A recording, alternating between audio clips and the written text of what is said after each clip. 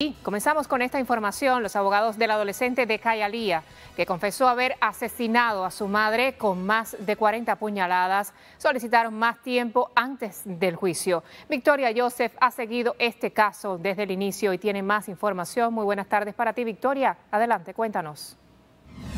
Muchísimas gracias. La fecha para el inicio del juicio está prevista para el 26 de febrero. Sin embargo, en la audiencia realizada este jueves, la defensa aseguró que necesitan más tiempo para empezar, alegando que le faltan pruebas de la Fiscalía Estatal.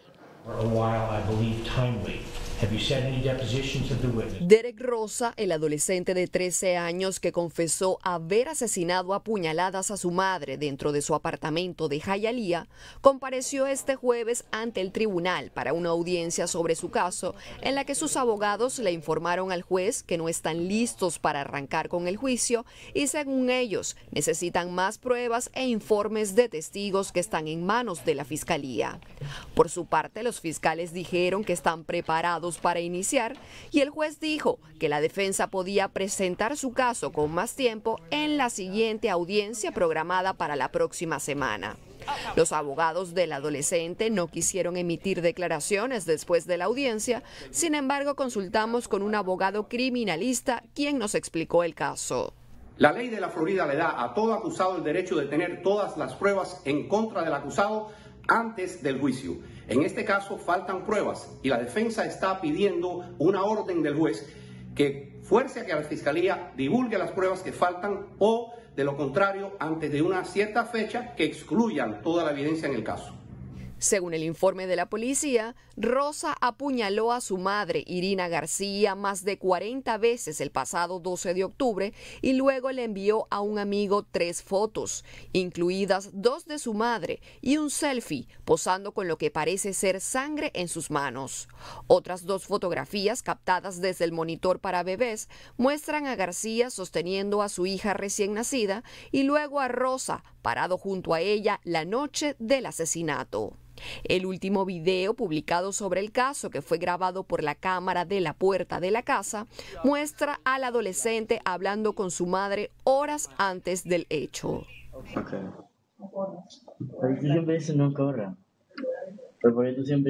A la audiencia de este jueves asistió un grupo de personas en apoyo a Derek Rosa y a su familia, vistiendo camisetas que dicen es solo un niño, merece ser tratado como tal.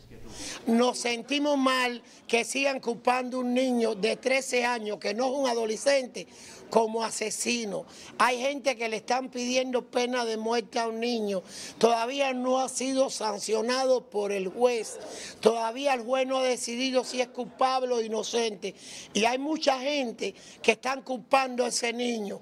Nosotros lo único que estamos pidiendo es que se profundice un poco más en las investigaciones, se busquen, se profundicen más, se miren más las imágenes que han que han publicado, que han sido enviadas por, por el lado de, los familiares de Derek, del padrastro Derek, que profundicen más y miren más profundo debajo de esas imágenes. También necesitamos que se profundice más en las notas de la llamada del 911. Creemos que detrás de esto hay otras personas y exigimos y pedimos que sean bien que sea bien investigado, que se haga una investigación más profunda, porque hemos visto incongruencias en el proceso investigativo desde la llamada del 911 y todo lo demás que ustedes conocen. Y la próxima audiencia se realizará el próximo 20 de febrero. Tendremos más detalles de esta información en nuestras próximas emisiones. Por ahora retorno al pase al estudio.